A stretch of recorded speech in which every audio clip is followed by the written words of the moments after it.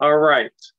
Well, it's it's it's time to start, and I'm excited about this workshop. Uh, uh, I have a lot of respect for uh, the Tully Group. They're doing amazing work and have QSPs all over the place. I see their vehicles all over Central and Northern California, and uh, uh, with under Robin's leadership, she's got some wonderful staff that are working for her. So I want to give them as much time as possible. I have here Robin and Juan. And so why don't you introduce yourselves and introduce your company and um, then I'm excited to hear what you have for us today. All right, awesome. Thank you, John. First off, um, I'm really honored to be here.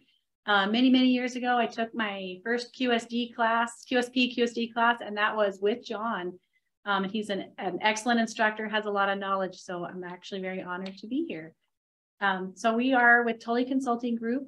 Um, we've been around uh, since 2005 and got really more into stormwater. And when the new permit came about, uh, construction general permit came about in 2011.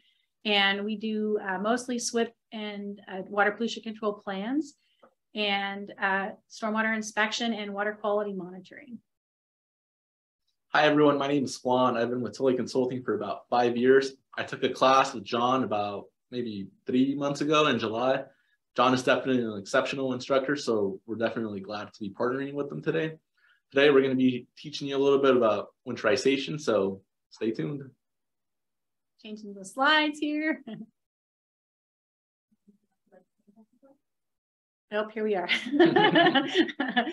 All right, so this workshop is on winterizing construction sites. Um, with winter just around the corner, you're probably wondering, how can I prepare my construction site for winter? Um, we want all of you to be ready for the upcoming winter season. So we'll be reviewing the Caltrans winterization amendments um, and some tips and BMPs on preparing your construction site for winter. Workshop objectives. Today, we're going to be talking about winterization, Caltrans winterization amendments, benefits of winterization, what if we fail to winterize, best management practices, and at the end, we're going to have a Q&A, questions and answers.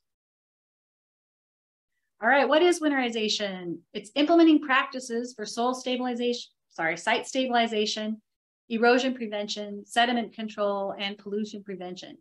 These practices help construction sites prepare for the rainy season. The rainy season is generally mid-October to mid-April in California.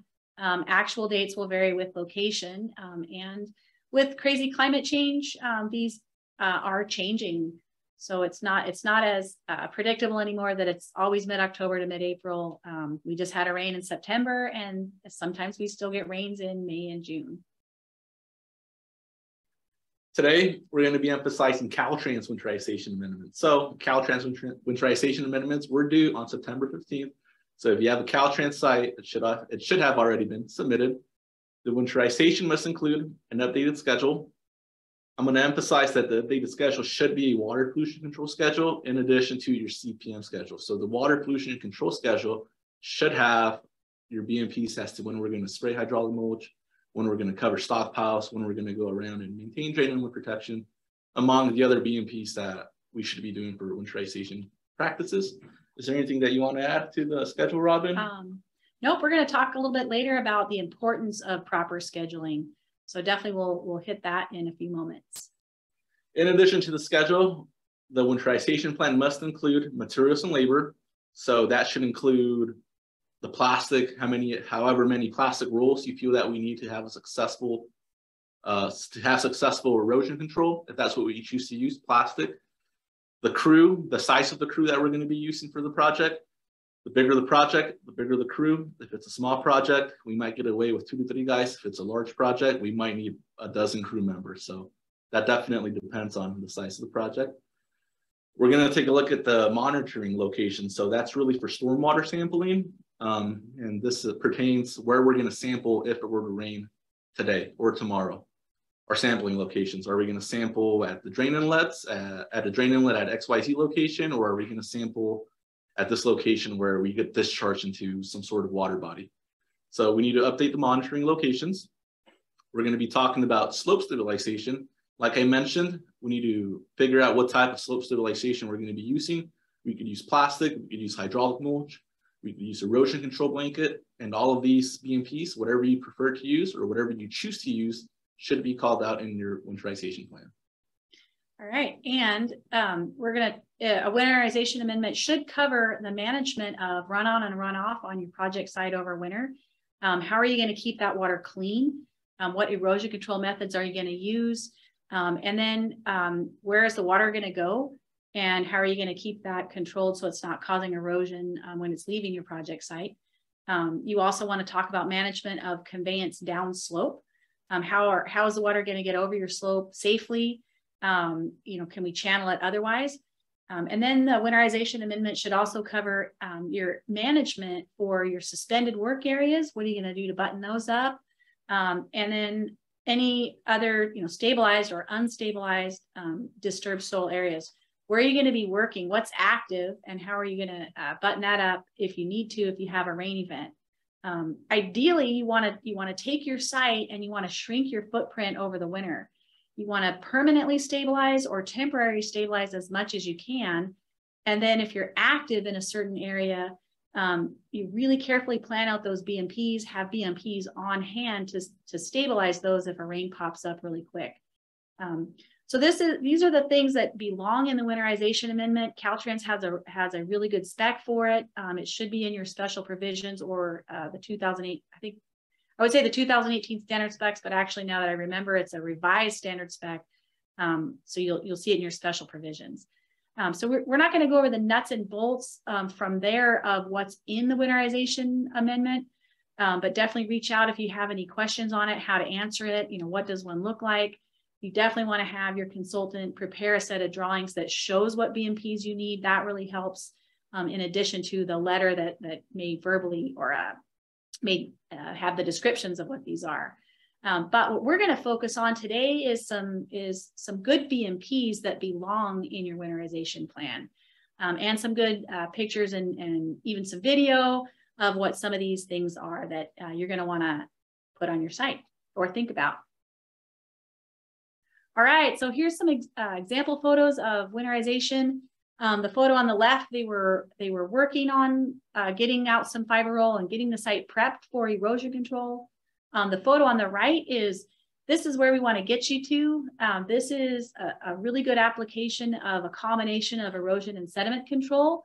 There's uh, fiber rolls on the slope. Um, these were about 10 feet apart because um, the slope was a two to one slope. And then there was silt fence at the bottom, although it's kind of hard to see in the picture. And then there was some, some erosion control netting on some of the steeper parts that we were worried about erosion. Um, and then all of it had, um, in this case, this was hydroseeding because they were able to permanently button up this slope. If you're just looking at something temporary, maybe you need to come back and work on it next spring, um, then maybe you just want to put temporary hydraulic mulch. You don't want to put the seeding in it. Um, this particular application had, had uh, seeding, so it was hydroseeding. Um, here's some other examples of winterization. Um, the photo on the left, this was actually a, a bridge raising project in the, the uh, sorry, the Loomis area. And this was pretty cool because they actually like basically cut the foundation off the bridge and then jacked the bridge up to have more clearance um, on Highway 80. And then they uh, filled in the, the bridge supports with concrete and rebar, uh, thereby raising the bridge up, um, I think a couple feet in some cases. Um, and then they had to uh, regrade the bridge uh, approaches. And so we had new fill slopes going up to each bridge. Um, they weren't quite ready to permanently stabilize it over the winter. Um, so they just needed some temporary BMPs because they still had other, other things that they needed to, uh, to finish. So in this case, they put um, fiber rolls on the slope every 10 feet. They had silt fence at the bottom, kind of a catch-all to catch any sediment that did come off the slope. Um, they had erosion control hydraulic mulch, uh, bonded fiber matrix on the slopes. And then also we had to do a gravel bag berm because we didn't have temporary dike in, or permanent dike in place yet. Uh, they were still working on the final paving at that time. So um, the gravel bag berm was a great um, way to keep the run on um, from going over the slopes and damaging the slopes. So that that's a very effective thing we want to talk about a little bit more later.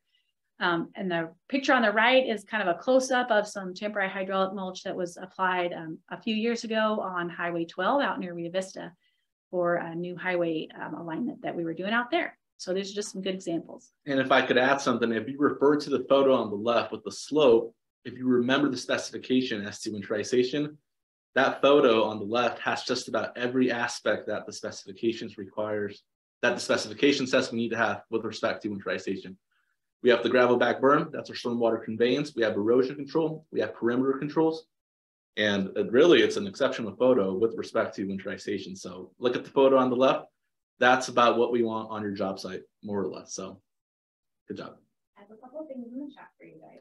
Are you interested in answering a question or addressing these comments now, or would you like Sure, let's let's take a question. Okay, we have a question from Mehmet uh, or no, I'm so sorry if that means that's not how you pronounce it. Um, they asked, do you need to make these amendments as SWPPP amendments and upload them to SMARTS? Yes, um, Caltrans will upload their own SWPPP amendments.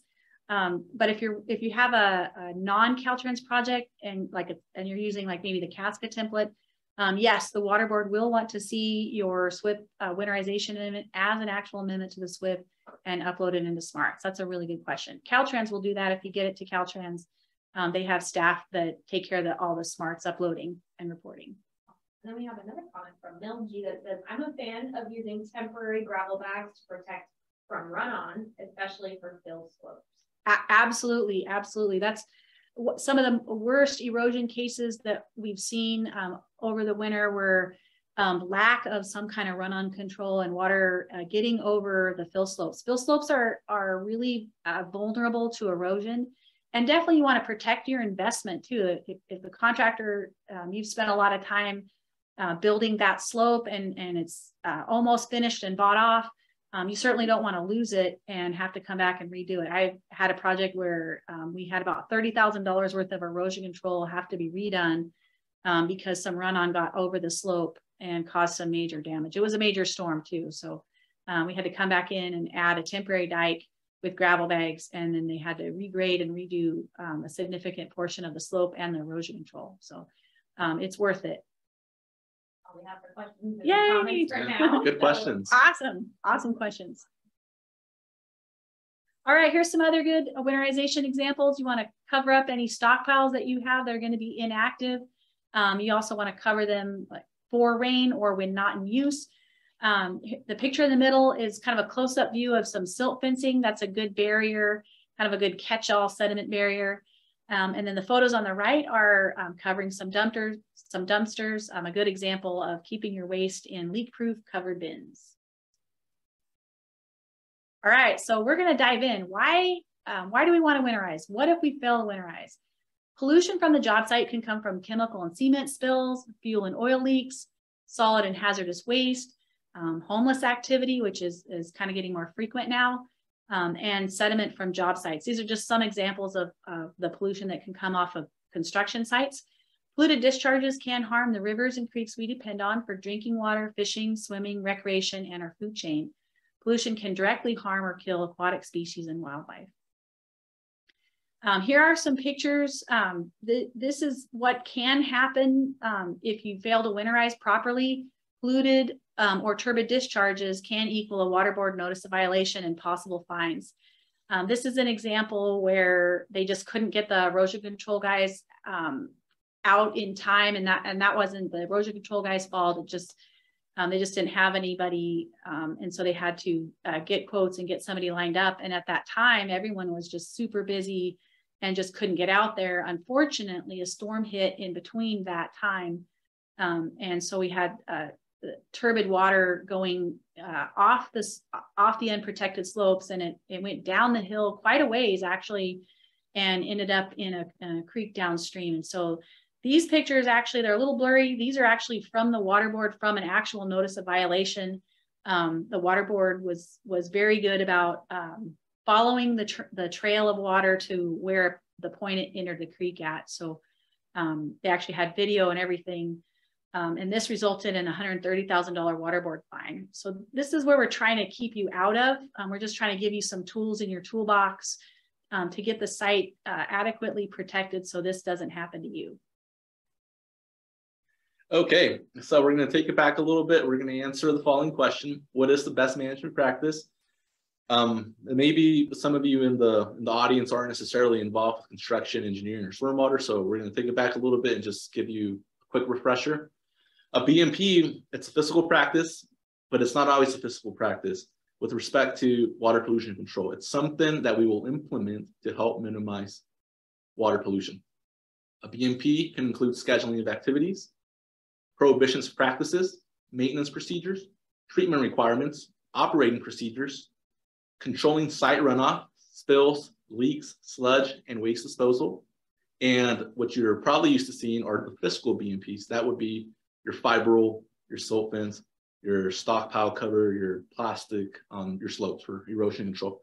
Just keep in mind that a BMP is not always physical. It's sometimes a practice like scheduling. You, you can't hold scheduling, but you can hold a fiber roll. Just take a note of that, please. And all of these practices are used to prevent or reduce the discharge of pollutants. Okay, so we're going to be going over some of the BMPs that we're likely to see in a winterization amendment. The most common is scheduling. We need to plan ahead. Plan ahead. Rain and construction do not mix well, as Robin explained in the notice of violation. Arguably, the primary BMP with respect to winterization is scheduling. Another type that we're going to see is erosion control. Erosion control can come in the form of geotextiles, such as erosion control blanket, plastic cover, temporary hydraulic mulch, hydro seeding, and wood or straw mulch. And all of these are erosion controls. And remember, we need an effective combination of erosion and sediment control. We need both to be successful, and not just one. Here's an example of hydraulic mulch, an application of hydraulic mulch. We have a big project in Sacramento. We partnered with Solvices Erosion Control. We went out and we sprayed hydraulic mulch. It comes out green so that we could see where it's being applied. That way we don't accidentally miss a spot. That's a big truck that they bring out. The operator operating the cannon is actually our very own Miss May McGuire. So good job. She did an exceptional job. And uh, that's what it looks like. So if you ever see them on the side of the freeway, if you ever see an area of dirt that's been sprayed green, there's a good chance it's hydraulic mulch.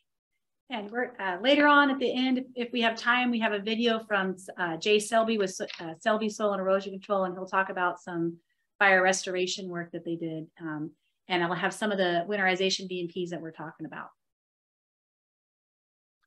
Another type of erosion control that we often see is what we call erosion control blanket.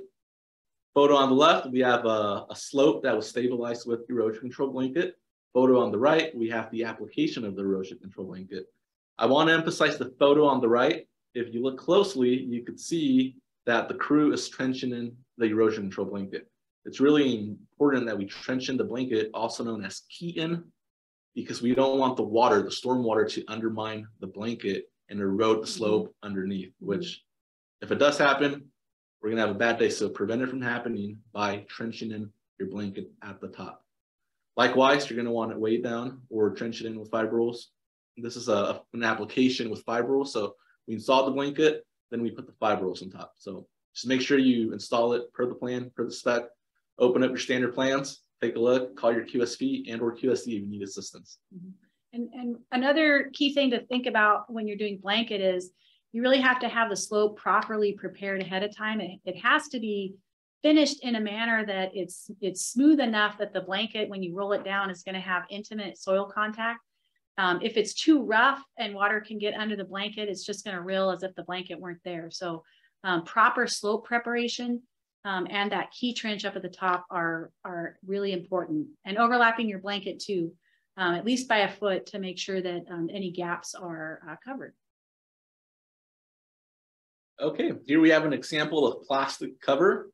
So likewise, um, plastic cover is an erosion control BMP. We want to trench it in at the top, just like we saw in the previous photo, and we want to weigh it down with gravel bags and rope. So here's a really good photo, a really good, I'm sorry, a really good video and a good application of plastic cover. So that's also acceptable as a temporary erosion control BMP. If that's what you choose to use for a job site, maybe you have a slope that's not finished yet, that's definitely an acceptable BMP. Yeah. Um, one thing I did want to mention about plastic is the water board uh, really wants to discourage the use of plastic. So ideally you might want to look to the other BMPs first, um, your uh, hydraulic mulch, um, or maybe your blankets, um, and then utilize the plastic for those limited areas where uh, the other two just don't make sense. Maybe this is a slope that you're working on when it's not raining, um, and the plastic will allow you to um, keep that slope dry and then open it back up um, when you have periods of dry weather. So just thinking about where you want to use plastic, I wouldn't button up your whole site with it. Um, use it where it makes sense. Another erosion control BMP that's most commonly used for permanent erosion control measures is what we call hydroseeding. Similar to hydraulic mulch, hydroseeding is also an erosion control BMP.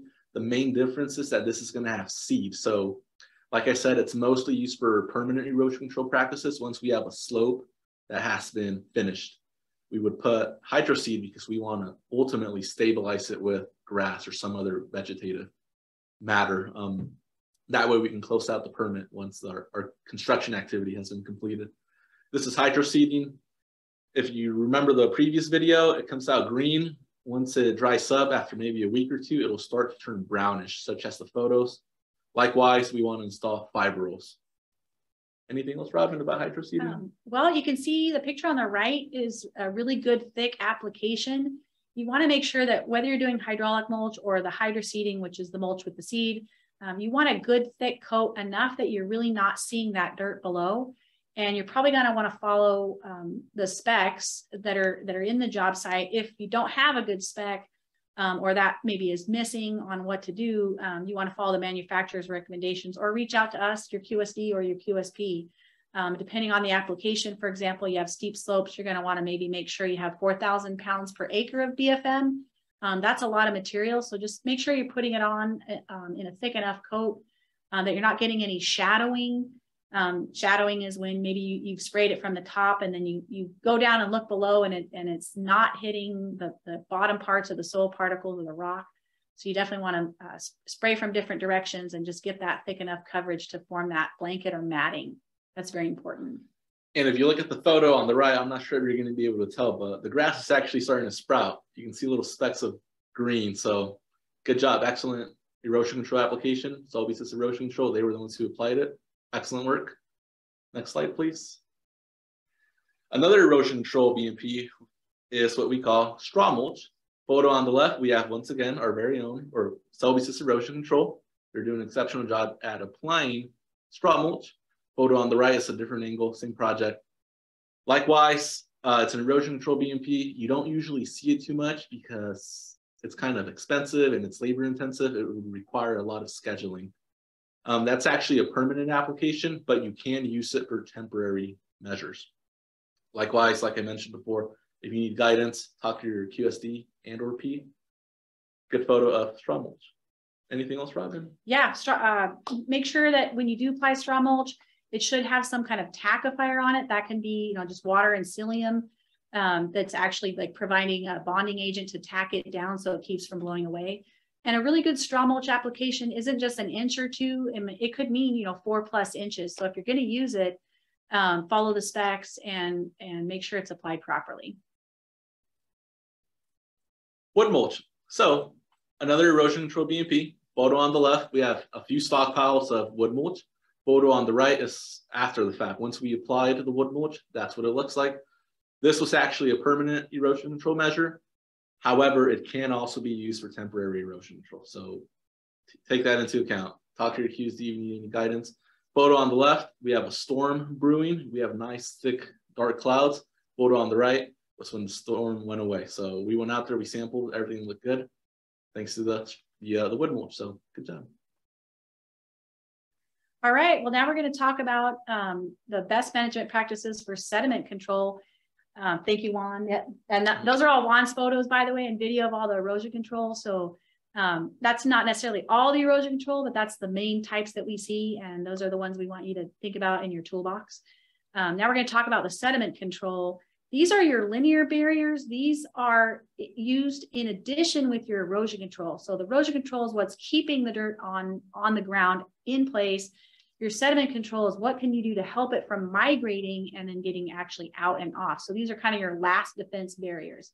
Most common types, um, silt fence, check dams, fiber rolls or wattles, gravel bags, um, earthen berms. Um, street sweeping, that's actually sediment control because you're actually sweeping up and removing sediment. And then storm drain inlet protection. These are the most common types. Um, sediment control BMPs prevent construction site soils and other sediments from washing into gutters, drains, and waterways. All right, so let's dive in. Fiber roll, this is a very common one. It's used for perimeter control of disturbed soil areas. Um, used for slope interruption, so you can have it on your slope every uh, 10 feet for a two to one slope, for example. Um, if your slope is not as steep, you can do less spacing and there's actual guidelines in the, uh, there's a CASQA or Caltrans BMP manual that'll have a slope spacing recommendation. Um, they must be installed on a level contour. That just helps to make sure that the water is not concentrating on any one point of the fiber roll. Um, and so as much as possible, put it on a level contour. Um, it must be properly trenched in and staked down every four feet. Um, the water board is very picky about this and so are the Caltrans inspectors. Um, and that for good reason, if a BMP is not installed properly, it's not gonna work to its best. Um, so you definitely wanna get that trenching in and the staking in. There is another method for installation that doesn't require um, uh, trenching in. We often see that for permanent installations. That's where uh, there are stakes on both sides and it's lashed down with rope. Um, the picture here on the right is, um, it wasn't quite installed properly. The stakes are too far apart um, and it wasn't all the way trenched in, although we were still happy to see it there. Um, but they did have to come back and uh, tweak it a little bit. So that, that's fiber. This also is um, permanent type. Um, it doesn't have plastic netting. And if you're working on a Caltrans job, um, you no longer can use the plastic netted type. The specs will actually say that for temporary and permanent, they want um, no plastic netting. So this is the biodegradable water. I think it's wattle. It's uh, like a burlap sack around it. So it's, it's pretty nice stuff. It's also good for use um, in creeks um, or sensitive areas. Silt fence. So silt fence is, is another great product that you'll see. It's really good at the, at the perimeter and the toe of slopes. Um, you want to offset it from the toe of slope at least three feet. You definitely don't want to install it on a slope. That can create some issues. Um, so try to keep it off your slope and just have it be at the toe of your slopes. Um, silt fence is designed to impound water where the fiber will let water throw, flow through it. Um, so silt fence is great where maybe you have a creek or a sensitive area that you want to keep your sediment um, and water out of. And so the silt fence is going to do a really good job at that, um, provided that you don't have too much area draining to it. Um, it also must be installed on a level contour. Um, if you don't, it'll it'll accelerate the water. Water will hit the silt fence and then flow down, uh, down gradient. So you definitely want to keep it on a level contour where you can. Um, it must be properly trenched in also at least a six inch deep by six inch wide trench and then you backfill. It should have the stakes every six feet. And ideally you wanna use uh, two inch by two inch stakes um, and the stakes must be on the backside.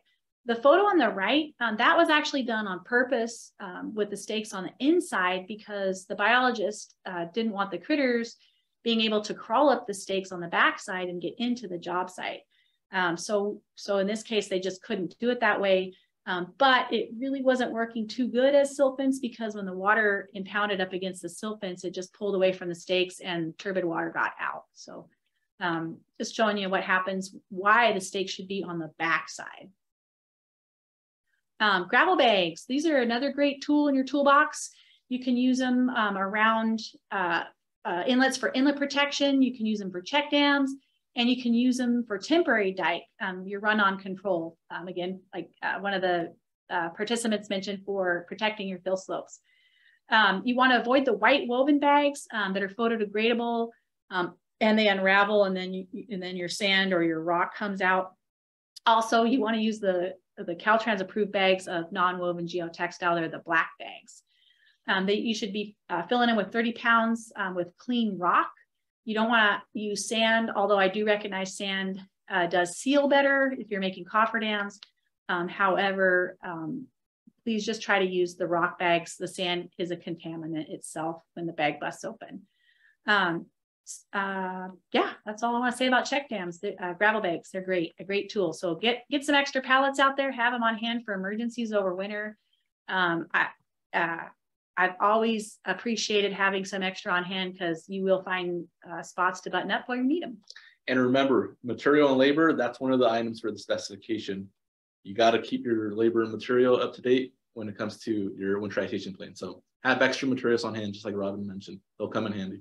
Yeah, good. Yeah, because uh, when a rain event hits, um, everybody's going to the supply stores trying to get everything. And I've actually had a bad winter where um, the supply stores were out They didn't have any plastic or gravel bags. And I tell you what, that's not a fun position to be in because then you're like, crap, now what do we do? mm-hmm. Rain's coming tomorrow. Um, all right, storm drain inlet protection. The, these should be in place year round uh, along with your perimeter control. Um, but now is definitely a time to tune it up. Um, maybe you had filter fabric blocking your inlets over the over the summer when you were maybe grading or paving, um, but that's not a great uh, uh, application for wintertime because you want to let your inlets drain and you're going to get a lot of water and flooding um, issues if you don't open up your inlets. So make sure all your inlets are tied in also and that water can get into them. If, if you're in a, a state where maybe you don't have all your, um, your storm drainage in yet, um, definitely uh, reach out and, and we can help you come up with a, a plan. Where's that water going to go and how are we going to get it to the right spot safely? Um, the uh, storm drainage protection, um, it must be, if you're on a Caltrans job, you want to use the approved sediment bags. Um, you want to protect your, your, your inlets year round um, and you want to keep them clean to keep them free of sediment. Um, and the sediment bags also need to have a high flow bypass inside. Um, that's so if the, the bag fills up with debris, it can at least get through the holes inside and at, kind of at the top of the bag um, and still get into the drain inlet. So these are just some good examples. Um, the one on the right is the Ertec product, the Ertec covers, and the one on the left had a sediment bag inside um, with the gravel bags around it. Another thing you want to do for winterization is um, look at your stabilized construction entrances. They should already be in place, um, but now they're even more important if you didn't have them in place. Um, you want to uh, have some options here. So you can use uh, the FODS mats. That was, uh, uh, uh, this is actually from Highway 50 where they're easy to use because they can uh, put them on, on top of the pavement. You can't really put rock on top of the pavement. Um, these also uh, work in lieu of the, the metal rumble plates. You can have those too. Um, but anyway, the FODS mats were a, a cool option because they were easy to pick up and carry and, and relocate as their job site conditions uh, needed to change the entrances. The one on the right, this was actually up in uh, the Colfax area and they were uh, stabilizing not only the entrance, but they were actually stabilizing to the, the roadway in and out. So that's very important to eliminate tracking. Um, another another way to for to uh, to uh, control your construction sites is also think about blocking off areas where you don't want people going in and out. Um, if you do have a rock entrance, make sure that it's uh, properly installed. Um, it should have some kind of fabric underneath it. Um, you want the rock to be three inches to six inches in diameter, and it should be a minimum 20 feet wide by 50 feet long um, by a foot thick.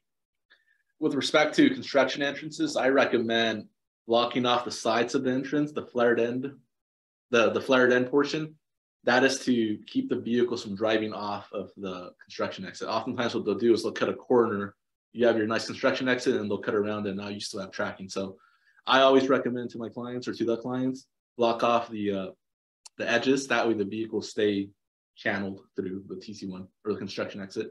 Usually we do this with T-post and orange fencing. And anyways, just a little thought, helps yep. out. Yep, or some K-rail. Or K-rail. Mm-hmm. All right, so what is a run-on control measure? This is very important for winterization. You want to think about what water is going to uh, cause or havoc that's coming into your site um, and getting where it shouldn't be. So a run-on control measure um, saves your erosion. These um, prevent stormwater from contacting the site and diverts it around or safely through the work area. Um, that uh, again, I'll point out this example because this this will save you many times. Um, the gravel bag berms for your temporary dike. That's a, an example of run-on control. Um, slope conveyance. That's another item that you want to talk about in your winterization amendments. Um, a slope conveyance is how you're going to get that water safely over your slope or or around it. Um, you want to install on top of well compacted soil um, you want to ensure that any, any matting is anchored down to prevent movement from coming underneath. Um, this is like a plastic, uh, oh, basically we made a plastic, or the contractor made a plastic overside drain. There was water coming off the highway up top, going over their slope. And uh, we, we didn't have any other choice where to put that water. So we just said, okay, let's, uh, let's have it go over here, but let's put it on plastic so that we're not uh, eroding the slope. Um, you may want to have a riprap at the end um, to help uh, help dissipate the energy. Um, this is just one example of slope conveyance. You could also have a pipe. Um, that would be super awesome. Sometimes that's super expensive. Um, so make something, get creative. Before we continue to our next slide, which is our video of Chase Selby, uh, we have a comment uh, from Mel G that says in the 2022 California CGP, in attachment D, it specifically says limit construction activity, uh, traffic to and from the project to entrances and exits that employ effective controls to prevent off-site tracking and sediment. So it's just a snippet from the new CGP. I That's believe. perfect. Thank you. Um, yeah, that comes with what we're talking about. Yeah, that's Awesome. awesome. That's perfect. Yeah, the new, the new permit's only gonna get harder. Um, so I, anyway, I appreciate that. And we also have a comment from Garrett, uh, with the county of Santa Clara, who said, who asked that we can please share a copy of the slides because this is all such great information and the photos are really great too. Awesome. Yes, so absolutely. Um, feel free to email me. I'll respond to them in the comments, but the next slide is Jay Study. Uh, can we go back to the silt fence real quick? I Yeah. kind of want to bring up a brief point. All right, the silt fence. So one of the benefits of silt fence, one thing that I really recommend silt fence is that and fiber rolls is that a perimeter control BMP also helps delineate your construction site. It'll help mm-hmm. keep your your soil disturbance contained to a specific area.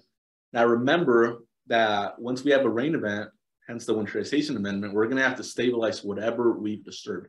If you minimize your footprint of soil disturbance, that's less area that you have to stabilize come a rain event.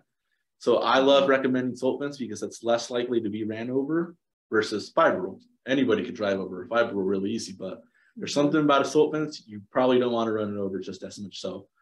Perimeter control BMPs, particularly silt fence and anything that's kind of high off the ground, it delineates your site. It'll keep crew members from encroaching and encroaching, which in turn, you're gonna have to stabilize at a later time. So keep your footprint small. That's it. All right, so um, I know there's a lot, a, a lot of other considerations to think about. Um, definitely reach out to your QSD um, for designing your winterization plan. Um, and then reach out to your QSP too, because they, they can uh, provide more information to your QSD on uh, what the site is missing um, or, uh, or maybe needs to be altered or beefed up for the winter. Um, we're going to go into a, a great video from Jay Selby. Um, I know it's not necessarily directly talking about winterization, but they're using a lot of these same components. And he's going to talk about what they had to do to uh, mitigate the rim fire, which was actually a huge, uh, pretty historical fire that occurred in Yosemite many years ago. Um, and this is part of uh, Jay's expertise in fire restoration. So enjoy and thank you, Jay, for doing this. Um, it was pretty cool. We got to uh, we got to capture him for for a brief moment. Hi, I'm Jay Selby, president of Selby Soil Erosion Control. Our company was founded in 1968 by my father. Uh, why that's important is because the EPA wasn't even formed until 1970, and the Clean Water Act was formed in 1972. Um, that governs all of our work now. That that was a platform that started everything. We have an office in Newcastle, California, which is near Sacramento. We also have an office in Idaho. So we cover Idaho, Washington, Montana, Oregon, California, and Nevada. We have a great team. Um, I I joined on in 1995 underneath my dad, and in 2000 I became the president, and uh, just been growing and growing since then. I want to talk about wildfires today. We do a lot of fire uh, remediation work. So I had a presentation I wanted to share that I put together for Caltrans uh, many years ago um, about the rim fire. 2013 was the rim fire, uh, which is in Yosemite, California, one of our favorite national parks. And uh, it was a really big fire. On August 17th, uh, 2013, a hunter's illegal fire went out of control and began the Yosemite rim fire. During the course, nearly 260,000 acres were burned, 400 square miles, 11 residents, three commercial buildings, 98 outbuildings were lost before being contained on October 24th. The rim fire was the third largest fire in history at that point in time that cost over 127 million to fight and 5,000 firefighters were dispatched to Yosemite. There were 10, 10 injuries on this fire. The smoke, uh, you can see it from, from satellites. It traveled all the way to Lake Tahoe and Reno. Jerry Brown, the governor at the time, declared a state of emergency for the city of San Francisco due to damage by the fire to power infrastructures that serve the Bay Area. Wildlife officials and biologists had to tend to displaced animals and were concerned with western pond turtles and bald eagles. Many animals were killed and their habitat destroyed, including hundreds of cattle that grazed the area. Plans were approved for logging 52 square miles uh, for roadside trees for public safety and worker safety. Caltrans headquarters, uh, Jack Broadbent, assessed the impacts to State Route 120 from Buck Meadows to Yosemite Park entrance and identified critical areas of concern. District 10 engineers first contacted us to see if we participate in the project. And uh, our resident engineer and, and us drove the damage. We worked off notes that Jack supplied of the 17 mile stretch of, of Route 120. Our involvement on September 20th, 2013, an emergency contract was awarded from Caltrans to us with a budget of 1.2 million for soil stabilization, bonded fiber matrix, as well as other erosion control measures like check dams, timber and debris removal, contour log terraces, cleaning of existing draining systems, and monitoring and maintenance through the winter, and then a reassessment in the spring of 2014. If you can see on the, the pictures, the before and after, how burnt the ground was, completely scarred. We worked with uh, the Forestry Service to design a seed mix that they were happy with, and it grew in really nicely. Here's an area where the drainage was pretty undersized for the culverts. So we lined the fiber rolls, we riprapped the middle, and then we hydroseeded with bonded fiber matrix all around it, trying to control the speed of sediment traveling towards them. Slope protection. In other areas, we found steep slopes severely burned with the potential of mudslide and falling rocks. We had many trees severely burned had the potential of falling onto Route 120. If you can see in the picture on, on the top, all the little debris that would be heading towards the drain. And uh, we removed it and we BFM'd it. And then in the spring, it looked beautiful. If you look at the, there's a definite line of where we stopped spraying. And in the bottom picture, you can see that there's no growth above that line. Oh, yeah. Hydro seeding and check dams.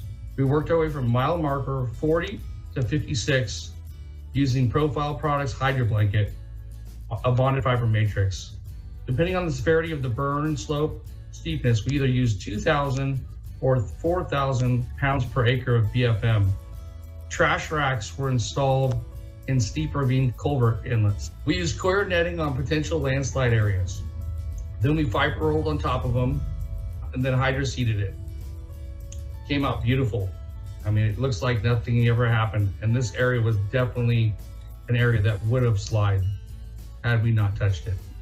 We also used pine needles where we could, and we used a paper mulch along with a tackifier to hold the pine needles down. We had to control uh, the flow lines. Our critical concerns were drainage areas. The inlet pipes that took water from one side of the road to the other were undersized for today's standards and could easily get filled up with ash and sediment and plug up, causing flooding and undermining roadway integrities. Forest in bloom. We finished the operation on November 9th of 2013, right before winter set in. We monitored the project through the winter and had zero failures. In the spring of 2014, the forest was in full bloom.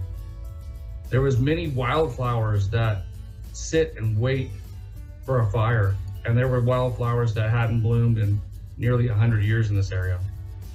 Restoration was a success. We came under budget. We actually did more maintenance in the spring because we had leftover funds and we actually increased some of their culvert sizes. So it was a success. And this has uh, been a case study that Caltrans has used ever since in their firework. Thank you. I love it, guys. That I, I really appreciate uh, Jay doing that video for us um, and uh, be, being willing to share some of his expertise.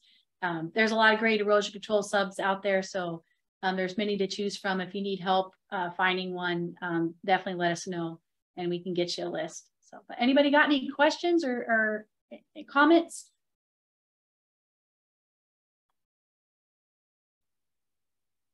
All right, awesome. Um, all right, well, just take care of your sites. Um, our suggestion would be call your erosion control sub as early as you can, even if you're not ready yet. Um, just uh, get them on the books. Uh, you know, plan on having them come out the week before October 15th, um, if you can. Um, granted, they're probably going to be busy, so um, you know, maybe think about some other dates in the schedule that'll work, and be thinking about what you can button up ahead of time, reducing that um, open footprint. So anyway, thanks guys. Thanks for having us. Thanks. All right. John. Well, thank you. Thank you, Robin. And thank you, Juan. Uh, great presentation.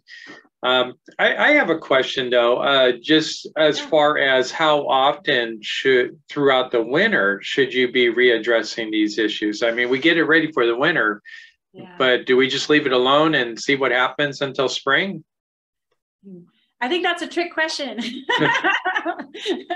the answer is no, you're not going to leave it alone. You're going to keep checking on it. So your QSP yeah. should be out there once a week and pre-storm, during storm, and post-storm.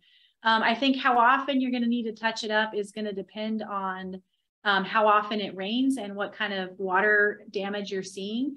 Um, your QSP is going to want to look for, and you uh, as the as the contractor or the owner um, can you know, check on it yourself also um, and look look for signs of rilling. Look for anywhere that it, it, that uh, hydraulic mulch or maybe your plastic, you know, is coming off, coming apart, um, or your hydraulic mulch is wearing thin.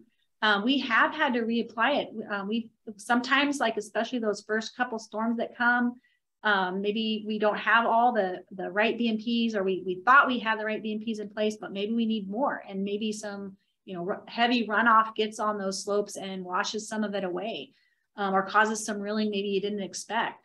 Um, so definitely, it, it, usually takes us a couple storms to get everything really dialed in, all the all the sediment controls and check dams and slope conveyance in place where we need it, um, and then you know come out and respray and, and touch up. Um, it's not uncommon to have to touch up at least once over the winter. Um, again, depending on what kind of rain you get. You know, maybe you're luck, maybe you're lucky of sorts that you don't get rain on your construction site and you don't need to touch it up, but also that's unlucky that uh, we do need the rain because we're in a drought. So um, right. anyway, great, great question, John. Thank you. Right. Well, thank thank you to to both of you for presenting and being a part of Stormwater Awareness Week. So uh, we still have a couple more classes left of the of the um, of the week. We're almost to the finish line, uh, but the good news is if you missed any of these or want to go back and watch one, uh, you can access them. We put the link in the chat. Just go to the same place you signed up for this workshop and look under the menu to uh, recorded sessions for 2022. Also, we're going to put the notes for uh, uh, to today's presentation by Robin and Juan under the resources. So you go to the menu, look for resources. They'll be linked right there. So you can download a PDF copy of, of this presentation. So, all right, well, we'll see you maybe in the next workshop. Thank you to all of you who participated in today's workshop. Before we sign off, John, there's one more question we'd like to ask. Oh, sure, yes. Thank you for thank you so much. Um, so we have a question from Garrick. Are there any reputable contractors out there for installing BMPs? We often have sites with an owner or operator who do not have expertise in BMP installation, and this often causes some problems for our inspectors. Yeah, yeah. And, and granted, depending on the size of your site might determine the size of a erosion control subcontractor that we'd recommend. Um, I know I'm probably going to miss some, but if I name off a few, um, I don't want to offend anybody by not mentioning them. Um, I'm just probably going to draw a blank, but but some of the top ones that I know of, um, soil, uh, Selby Soil and Erosion Control. They've been around a long time. They have the big equipment, um, and they they definitely can help you out. There's also Team EES. Um, they've uh, they've been around a while too. They're doing a great job. Um, there's also a, a newer company, Arctos. They are the public works um, side of Emerald Site Services. Um, Emerald Site Services is another one um, that they do the private, more private work. Um, uh, where soil, uh, Selby Soil and Erosion Control and Team EES, they do both private work and uh, Caltrans are public works. Um, other ones, Anita Erosion Control. Um, mm, uh, there's J and S. Um, there's a there's a lot. Green Growth, that's another one. Um, and then I think it's Marine Vista. So actually, there, there's quite a lot. So um, if you want to uh, send May an email, um, it's May at tullygroup.com. She can get a hold of us, and um, we can get you a list. Anybody I'm missing? I think you got them all. Yeah. Oh, Yeah, not, yeah. oh, not GNS. It was GNM Land Restoration. Sorry about that. So, um, but anyway, what uh, some of the biggest players that we see are um, Selby's um, and Team EES and Green Growth lately on the Caltrans jobs we've been doing in the uh, this area. Any other questions? We got a few minutes left. John, you got anything? No, Yeah? no, uh, yeah, no, you guys did a great job. And, uh, yeah, we've teamed up with, uh, Selby Soils, uh, and, and they're a great resource. So a shout out to Jay. He's, he's, he does a great job. Yeah, he, he helped us out a lot and uh, it was pretty cool. We got to see him on a fire restoration job uh, two years ago at Lake Berryessa. Um, and then on US 50 recently. And then um, he let May actually come out and play around with the hydro seeding gun. That was pretty fun. Um, and uh, yeah, definitely. I think hydraulic mulch is probably one of your number one erosion control methods because it's um, it's really fairly effective and affordable. It's a lot easier to go spray a bunch um, versus trying to install blanket um, or uh, mess with plastic all winter long. So um, think about hydraulic mulch as much as you can. It's a great tool. Yeah, yeah. And if I could just add one more thing before closing, um, remember when we're preparing winterization amendments or plans, open up that standard specification. It's somewhere in section 13, and I believe it's revised standard specifications 2018. Just open up the standard specs and go down the list, everything that you got to check off. So that's about it. We gave you like a brief overview as to how to prepare a plan, but um, open Yes. up that spec and check it off. And we have another Stormwater Awareness Week workshop that um, Bob Schultz actually, I think he was on today's uh, on today's workshop too. He presented uh, more more in detail as far as what goes into the document. So this presentation and his are very uh, good. If you if yours is more pragmatic and what needs to happen in the field, his was more what needs to happen on the paper and in the Perfect. schedule. So if you watch these two, I think you'd have a really good handle on your winterization plans. Awesome, perfect. And we and we collaborate with Bob a lot. We uh, bounce ideas off of each other. So I'm glad that our presentations were compatible and not exactly the same things. so Yeah, yeah. I'm excited to check that one out. I'll have to uh, I'll have to do some research and Yeah. take some time to watch it. all right, thanks. All We're- we're gonna all get right, back well- to- But thank you. I don't think we have any more questions. This is your last chance. Unmute yourself real quick if you want to shoot a question out to us. Or a All right. Complaint. I'm just playing. No complaints. All right. Well, good. Thank you again. And uh, we'll see you guys in the next workshop. awesome. Hey, thanks for putting this together, John. All Thanks right. joining, everyone.